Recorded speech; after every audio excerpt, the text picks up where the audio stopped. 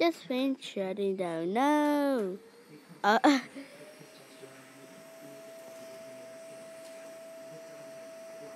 the train shutting down. No.